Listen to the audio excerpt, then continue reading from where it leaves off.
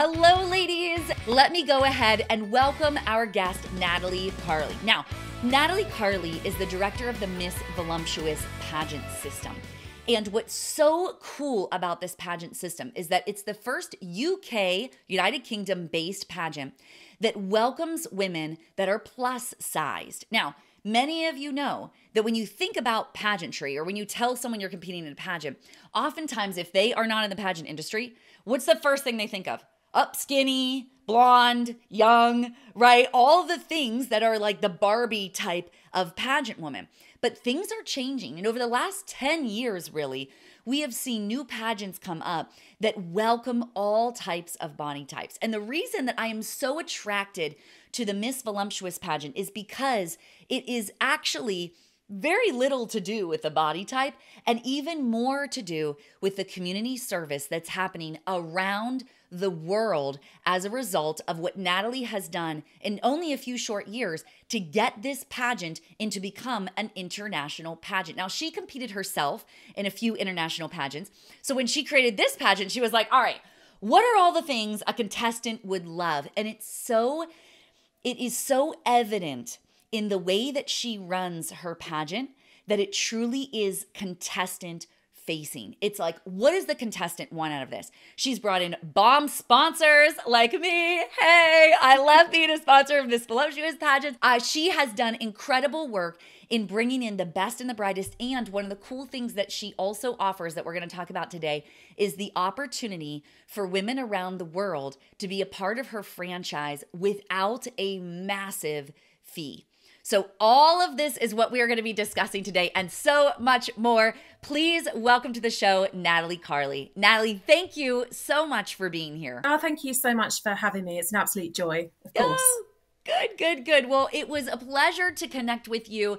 Even over the last few years, you know, I've been watching your brand grow and grow online and even just seeing your pageant, which by the way, ladies, the the pageant, the link to her pageant is in the description of this video. I highly recommend that you check it out because you will be blown away at the uniqueness of the brand, but also at the care in which is taken for this. And you know, pageantry is very much about marketing. You know, we want, as a pageant contestant, we're like, I want to walk the red carpet. I want to be seen and known and adored. And all of those things come back to because they're going to help us serve the community better. And we know that when we draw a spotlight to the pageant itself, it draws a spotlight to the platform. So let just in your own words natalie if you could share a little bit about that first moment when you when you got the idea for this pageant? Like what was that like for you? Take us back to that that time. I had um, i had like you said i had competed a couple of times in some different pageants and i'd i'd gone and had an international experience which i really loved and there was these things that i'd taken from each of those experiences that like the great parts and i just wanted to create something that was specifically geared to people who looked like me and who had body types like me and who, for whatever reason, haven't seen themselves represented on pageant stages before. And to be fair, like I'm kind of the smaller end of plus size. And I knew that even myself, I didn't feel like I could look at a pageant stage and see many people who looked like me. So it was a bit of a, a kind of conversation, a meeting of minds, if you will, between myself and a friend in the States, where uh, they were talking about plus size pageantry in the US. And I was like, wow, you know, I wish we had something like that here in the UK talking about um, systems that were very kind of celebratory of um, community service and volunteer work and all of that good stuff. And it just kind of the seed was planted and it grew really fast, um, much faster actually, even than I could have anticipated. Because here we are. That's so true. And it, was it just two years ago that this began, or tell me, tell me about how long ago was it? Was it when it first started? And tell me a bit about so, the journey too, because I know it's grown fast. It has grown fast. So we we began humble beginnings back in the UK. Um, we started putting our marketing out there in 2016, and we held our first final in the UK in 2017. We crowned one title holder.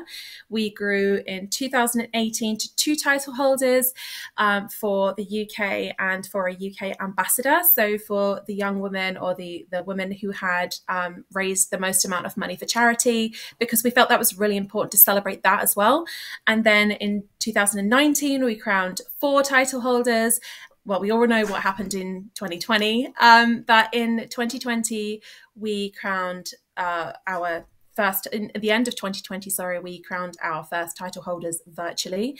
So we kind of innovated worked around the pandemic a little bit. We came and did things virtually and then we got our, our team uk ready for the international. So that really came about at the beginning of 2020 i mean what a time to plan an international pageant, right? um, at the beginning of 2020, I was like, okay, the world's ready to see what we have to offer. We'd had a lot of interest. People were getting in touch. Can I apply from this country? Can I represent, you know, this country? And and it really kind of got me thinking, okay, so what if this could be bigger? What if we could reach more people? What if we could impact more lives? What if we could create really the halfway point between a model and an influencer? And really, my idea of an influencer is someone who uses the spotlight that's on them, like you said, to impact positive influence on others. And so, that this halfway point uh, between a model and an influencer and a, a general public speaker and a, an all round role model. What if we could take that out into the world? And so that little kids all over the world who have grown up and never seen themselves for whatever reason represented could have that. And here we are now, just two years later after that initial idea to go to international. Here we are, and we've already held our first uh, held our first final, and it was incredible. And we've got two international title holders and three continental title holders, and 21 queens in our class for 2023. So it's growing and it's exciting, and it's been a complete whirlwind. And I have to pinch myself.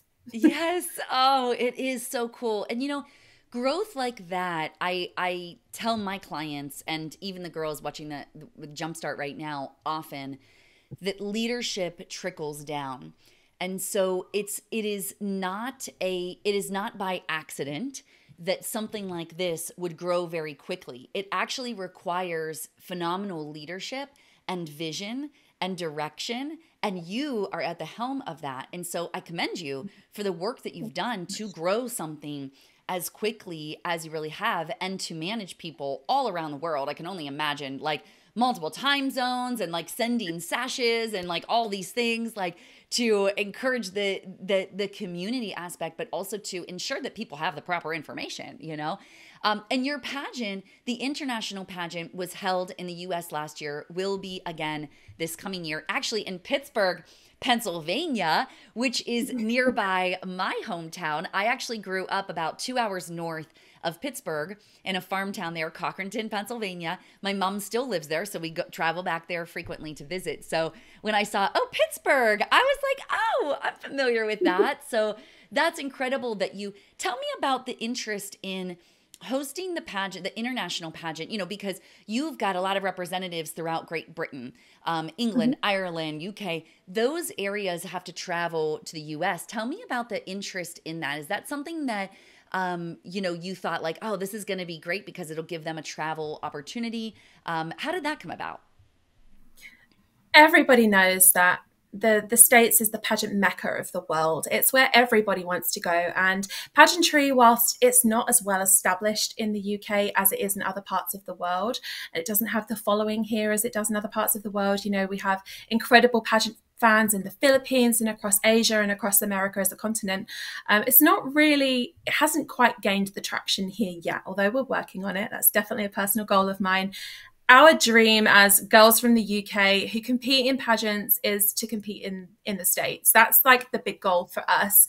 And I think that everybody who enters a pageant here in the UK who wants to go to an international, they want that that travel experience. And you know, you guys have significantly better weather than we do. Um, it's it's just a whole different experience, and you know you can live in the United States and travel from one state to another and have an entirely different experience just from from that short journey. Um, whereas you know if we go to a different place in the uk it's kind of same same because the uk it's a great country but it's very small.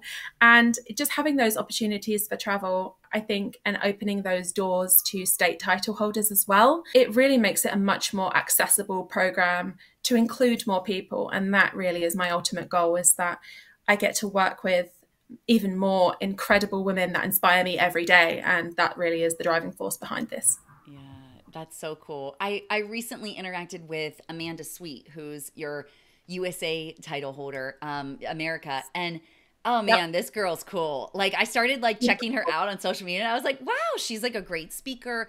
She's such a positive representative, and just doing such a phenomenal job. And so it is fun the like what you said about how these girls really do they truly are an inspiration when it's as a director you know and even as a coach we have moments where we are kind of like avoiding the uh, not on purpose but just we don't have to have the interview experience yeah like we don't have to be like the vulnerability and the heart beating and the, all the things in practice and then three minutes later it's like boom and so when we got on this experience today i you you said yeah.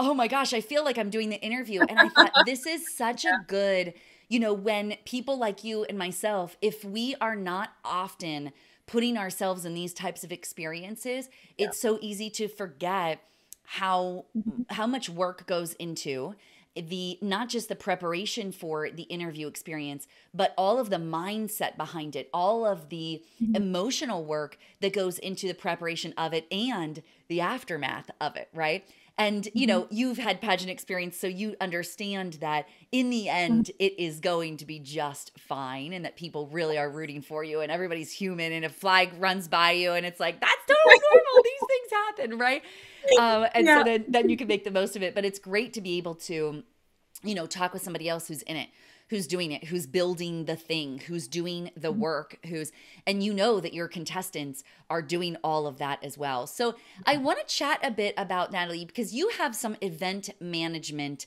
background mm-hmm. um, some experience yeah. in event management and so i'm wondering because I, I imagine that as an event manager, you probably have an eye for detail and organization, but also for the wow factor. And so I'm wondering how you weave those things into the pageant experience that you create for your contestants. Well, so it's like you say, I started with this event management experience and I spent three years as a wedding planner. And wedding planning is all about the the small details and knowing that actually you're being trusted with what's essentially the biggest day of someone's life.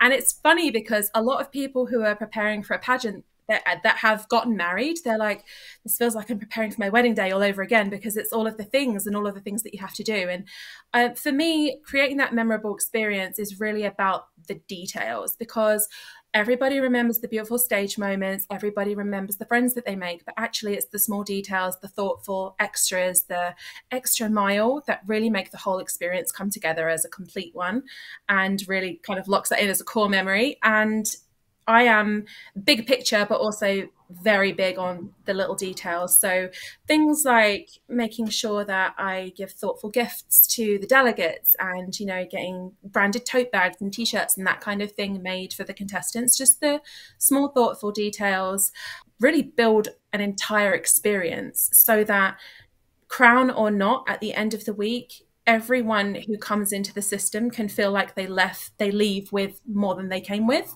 in terms of experience friendship knowledge skills whatever that looks like to them. And obviously you know we try our best to to manage the experience of everybody but what we found is women who come into this experience with a really open mind and a really positive mindset, and they do really maximize it for themselves. So that's really helpful and it makes my job much easier.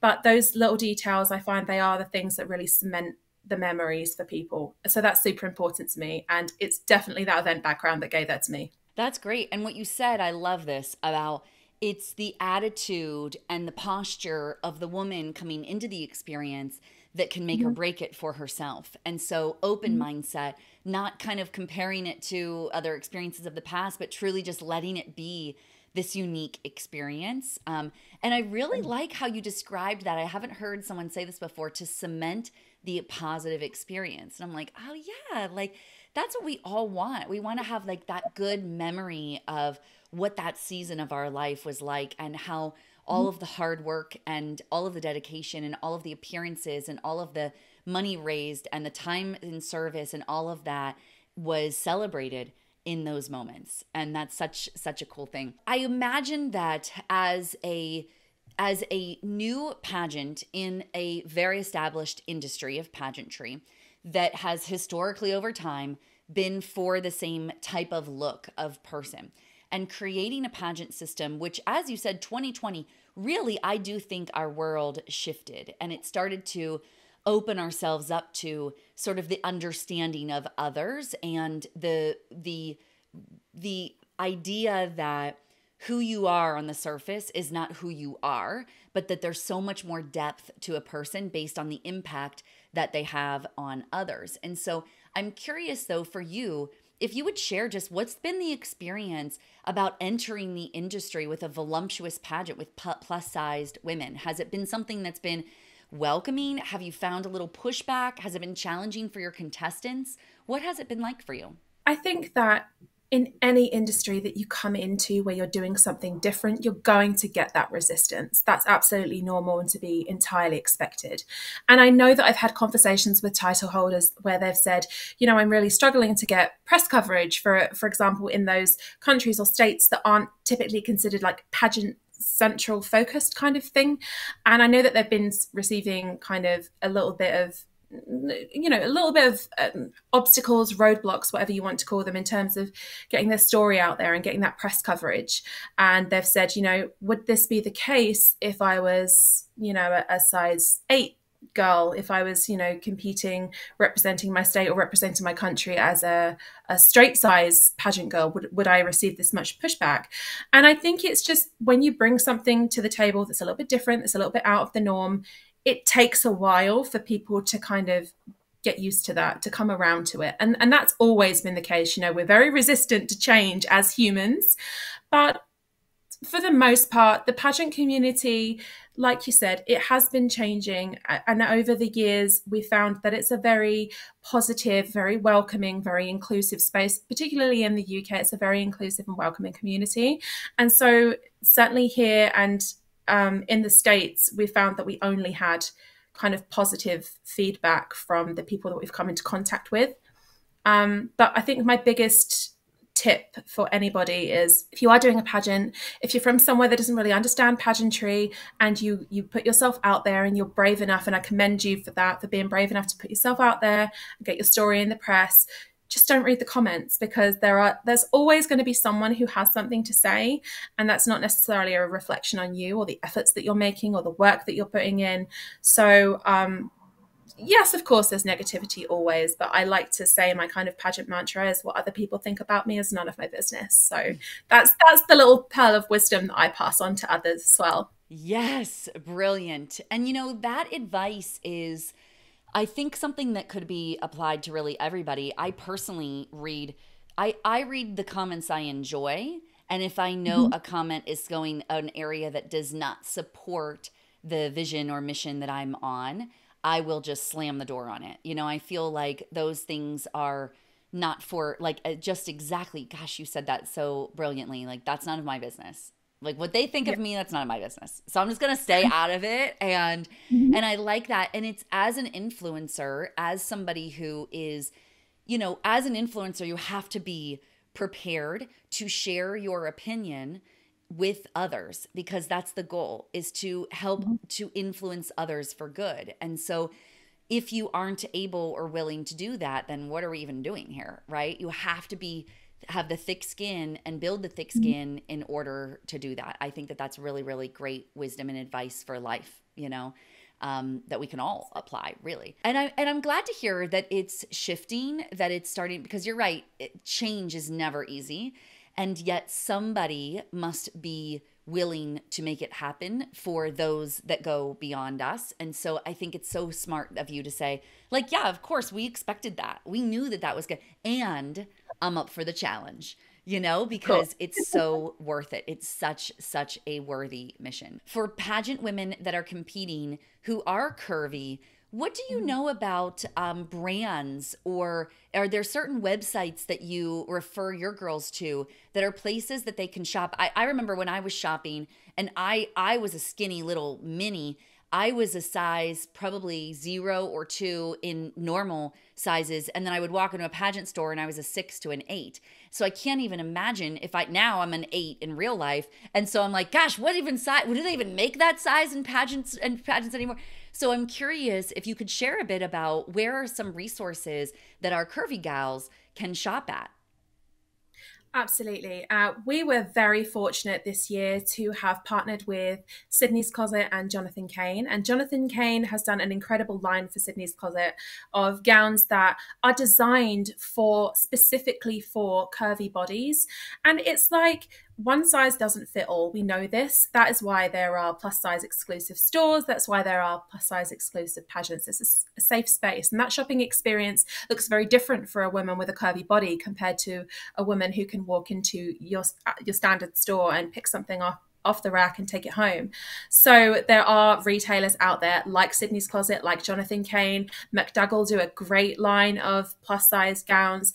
Um, I think the beautiful thing is Jovani, all of those big names, they're all catering now to plus sizes, either in their standard line or with a separate specific line for curvy bodies. But we have found that Jonathan Kayne for Sydney's Closet was spectacular. It it brought the drama, there was the sparkles, there was everything that pageant girls want regardless of what their body type looks like. And I think the thing that over the years a lot of retailers seem to have missed is that curvy women want the same shopping experience as their straight size counterparts. We want the same glitz, we want the glam, we want the drama. We don't want to feel like we're being asked to wear something that encourages us to hide ourselves. So, you know, there are lines coming out now that they've got the cutouts of the sides, they've got the slightly more daring necklines if you, you know, if that's your if that's your vibe. They've got the side slits we want all of that. We don't want to feel like there's something that's been made specifically for us to make us feel like we need to hide. I think that having that same experience is the most important part of enabling curvy women to feel included in this community. And there are some amazing retailers that are making those steps to make that happen. And Jonathan Kayne and Sydney's Closet definitely two of them. That's awesome to hear. I love that. And it's incredible to see the progression over the years, you know, that as as pageants like yours come up, it is truly changing the industry. So I love love seeing that. Um, so let's chat for a moment about your interview. Um, tell me mm-hmm. about what you expect in the interview room. Maybe you could share a bit about what's the time frame, what's the format of it, um, and and if it's different at the local, regional, and international pageants.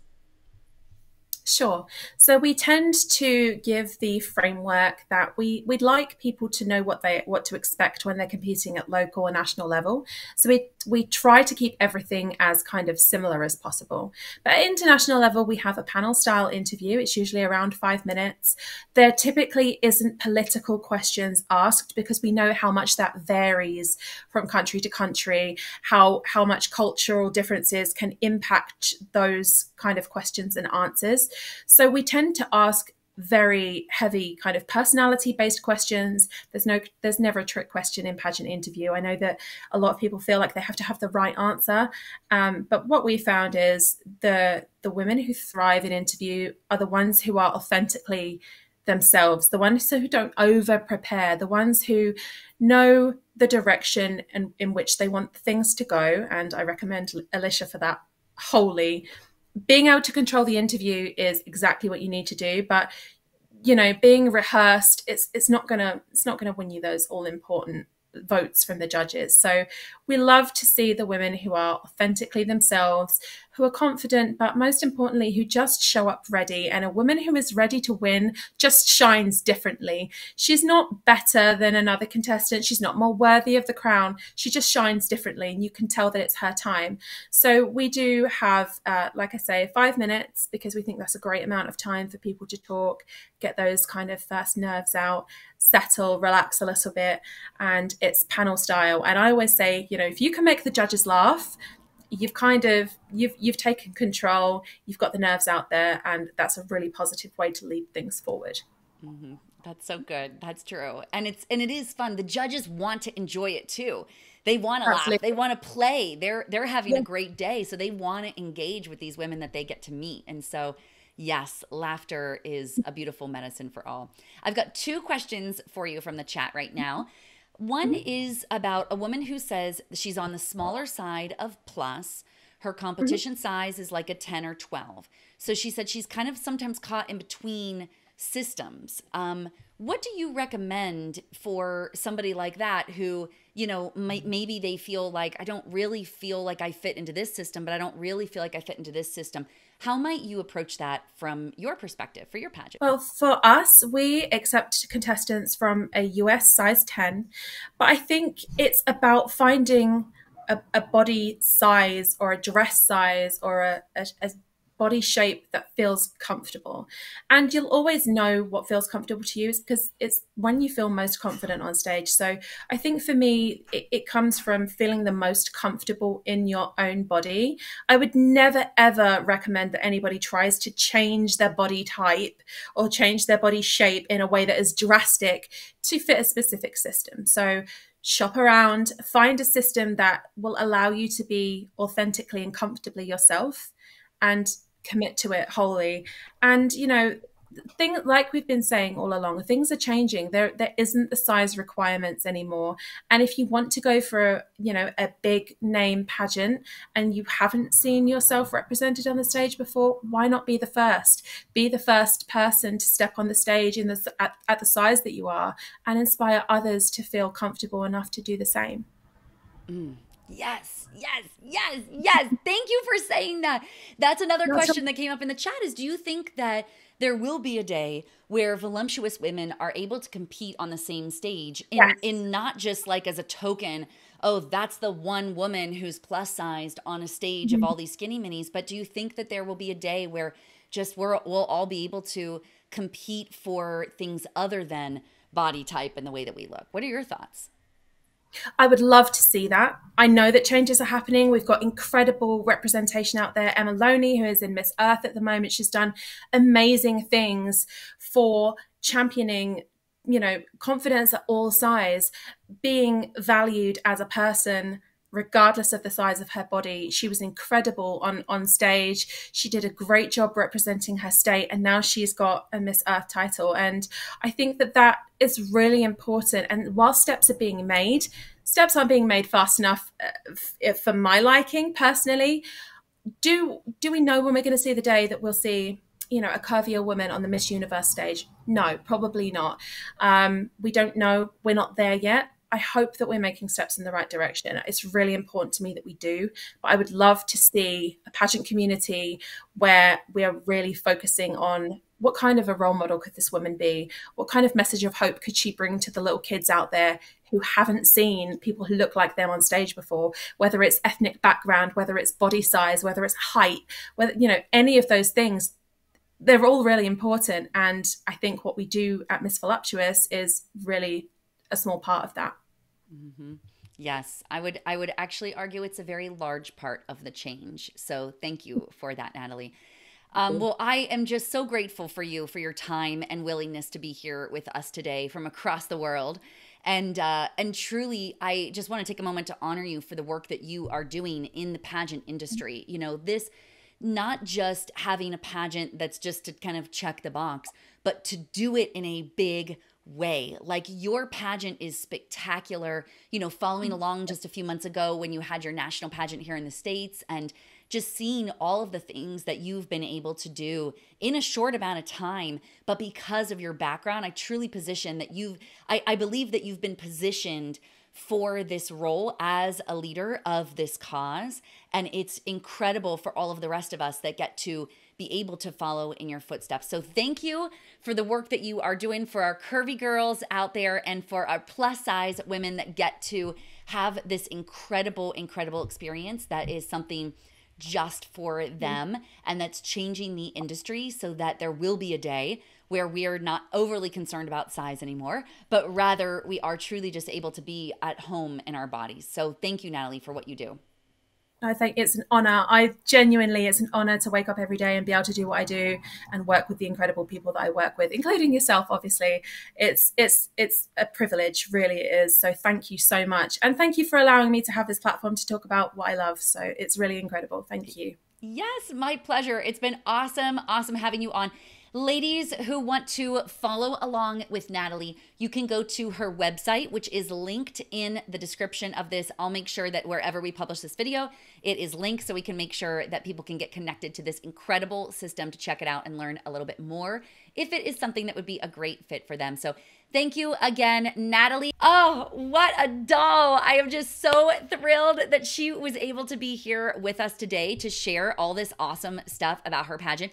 What a cool system, right? Isn't it awesome? And like, you know what I love about this is that Natalie is not trying to downplay, trying to make it like, ah, we're just gonna like be in the corner. She is showing up with excellence. Like, she is like, you know, just loud and proud. And that is what we need more of in the pageant industry. So people don't feel like they're supposed, I love what she described there is like the, you know, which so much truth in this and that the way that plus size clothing was created in the past was as a oh here you're going to hide this and you better hide this and you better hide this and you know you will even see sometimes when you go to stores they say like oh well this is not you need to uh, accentuate this part of you but hide this part of you you know and it's like that's not really what we want to be doing. We want to showcase who you are. And what I love about Natalie is that she really is into the community service piece of the pageant, not because the beautiful part of the pageant is something that she's shying away from, but because she knows that impact isn't made from beauty. Impact is made from the service that you offer the world. That's why I'm excited to be partnering with her as a sponsor. So so thrilled to have her on here. Thank you, girls, for listening.